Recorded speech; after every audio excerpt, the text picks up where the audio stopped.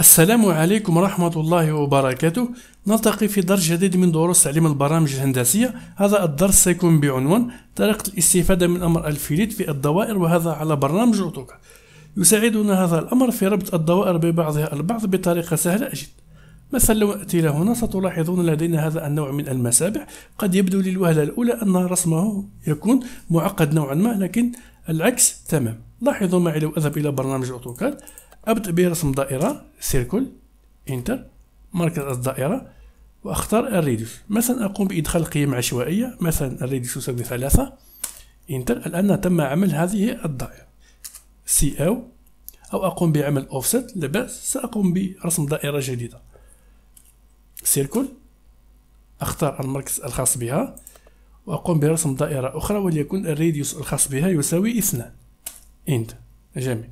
بعد ذلك أقوم بعمل move لها وأقوم بتفعيل. ال mode orthogonal منه move أختارها وأقوم بسحبها إلى الأسفل بمقدار خمسة.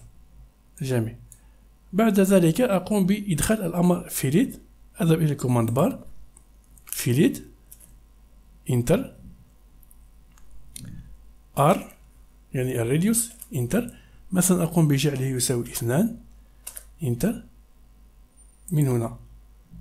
إلى هنا تلاحظون تم ربط هاتين الدائرتين ببعضهما البعض عن طريق هذا ال radius. enter من هنا إلى هنا TR enter مرتين وأقوم بحذف هذا الجزء. ستلاحظون تم عمل هذه هذا الشكل بطريقة سهلة جدا. أقوم بعمل تراجع. أقوم بحذف هذا الجزء وهذا الجزء. move أقوم بإبعاد كذلك هذه الدائرة هكذا.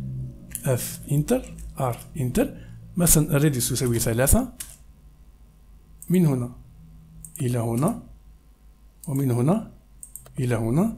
TR enter مرتين.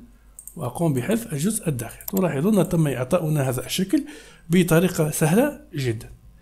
باختصار هذا الدرس لا تبخلوا علينا بدعائكم. والسلام عليكم ورحمة الله وبركاته.